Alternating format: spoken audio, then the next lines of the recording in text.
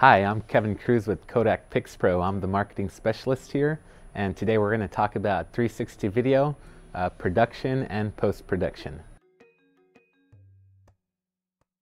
So I travel to a lot of trade shows and I talk to a lot of people, a lot of professionals in the industry and a lot of beginners trying to get their career started and they're looking at these new immersive technologies and a lot of them are timid and they're intimidated by this technology and all the equipment and sort of the, the lack of education out there. And so I, I let them all know that getting, getting started with 360 video doesn't have to cost them an arm and a leg. There's a lot of um, entry level consumer grade products out there that are really good quality um, and a lot of software support that allow you to finish and produce high, high level end um, 360 videos at an affordable price. Um, so like I tell everyone, just go ahead, jump in there, get your unit, get your software and just start shooting and have fun. So to get into 360 video, um, you just got to know a couple things, right? Um, the first is how 360 got started. I'd say it started out with having multiple cameras and sort of putting the two videos together to create a full sphere, right? And as the technology gets better, um, the cameras are improving, um, and eventually they've turned into a single camera unit with two lenses on it that records a full spherical video. Depending on what your budget is or how much work you want to put into, that'll depend on which camera you want to choose. The multiple camera rigs tend to get higher resolution um, and cost a little bit more, and they also involve more post-production as far as stitching. The single camera units um, tend to be more affordable um, and they give you sort of a fixed resolution and they automatically stitch for you so you don't have to do too much of that.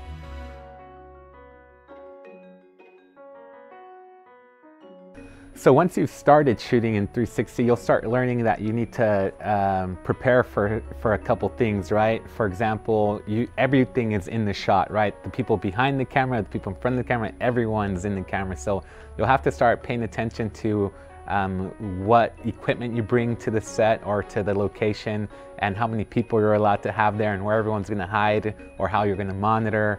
Um, there's lots of variables, right? Um, whether you're gonna have the camera in motion or if you're gonna have the camera still on a, on a monopod.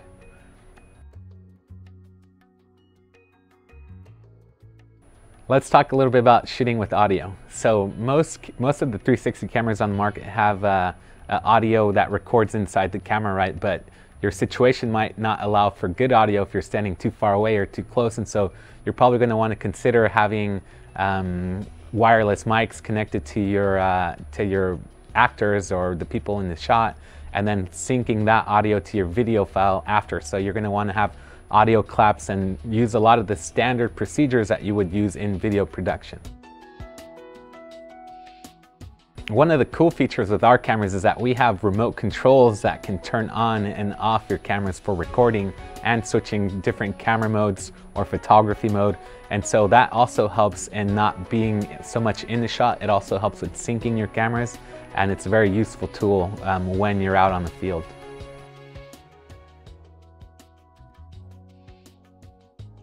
So you've uh, shot your video, you recorded good audio, now you're ready for some post-production. So whether you shot with your multi-rig camera, you're gonna have to figure out um, how to stitch them together. If you're shooting with the Kodak PixPro 360 cameras, we have um, free software that comes with the camera that does your stitching for you. Um, we also have our, our Orbit, which uh, has internal stitching that already has the equirectangular file ready for you, which is the full 360 degrees laid out flat on the, on the screen. So now you have your 360 file, your equirectangular file, and now you got to get into editing. Whether you got to correct the color balance or you got to add music, make cuts, fade in, fade out.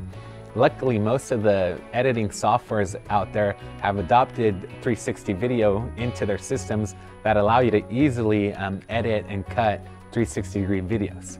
Um, but there, it gets a little bit more complicated than that because depending on how you shot it, whether there was motion or, or stills, um, you have to have uh, more robust tools to get stabilization in, in the mix because if you're moving and people are enjoying this in VR, it might cause some nausea.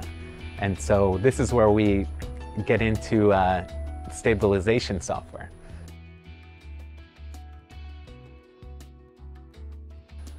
With stabilization being such a key factor in enjoyable 360 degree videos, um, we've started using RE:Lens by RE:Vision Effects. For example, I took a trip to Egypt where I got on a camel and all I had was my 360 camera on a, on a selfie stick. And as you can imagine, the camel was moving, I was moving, all my balance was off. Uh, but at the same time, that footage was so good for me and I really wanted it, um, but it was super shaky. And so I used the stabilization tool that they offered and voila, like it was so nice and enjoyable, very stable, and it totally made the difference on, on how I share it and how people view it.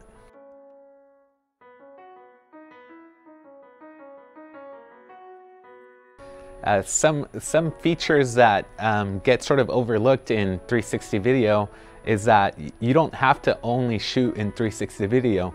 The, the beauty about these cameras is that you can also take frames and use it as 2D video because you're recording everything happening all around you. So then you can sort of cut uh, flat video from this side and then cut flat video from this side. And then you have multiple camera angles and multiple different directions of video all through one camera, which I think is a very underutilized feature of 360 camera cameras because you don't have to just be in 360. You can also shoot 360 but for uh, 2D video. Not only can you cut different angles from your 360 video, but you can also make pan uh, motions and move the frame around inside of the 360 video and record that in, in flat in post-production, which gives you a lot more control over your, your video versus having to record the pan shot, but then you can't go back and change the direction or the motion of the video after the fact. In 360 video, you can do this, and this feature is also available in RE:Lens. Once you've shot your video and you have this awesome video you've edited and put a lot of time into, you can go ahead and share that on Facebook, YouTube, Vimeo. Uh, all, the, uh, all the platforms are continuing to incorporate 360 into their, into their technologies and you don't have to share it just on a VR headset. You can share it on your cell phone, you can share it on a tablet.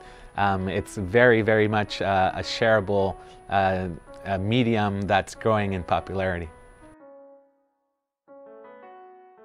So that's that's how you sort of get a 360 video produced, right? You got your camera, you got all your equipment, you have your post-editing software. But remember, the key factor in getting into 360 video production is actually getting your hands on the camera, going out there shooting, and actually editing your video and sharing it. Other than that, it'll always be sort of a what if, can I do it, am I scared? A lot of timidness, right? The only way you can learn how to swim is by jumping in the pool.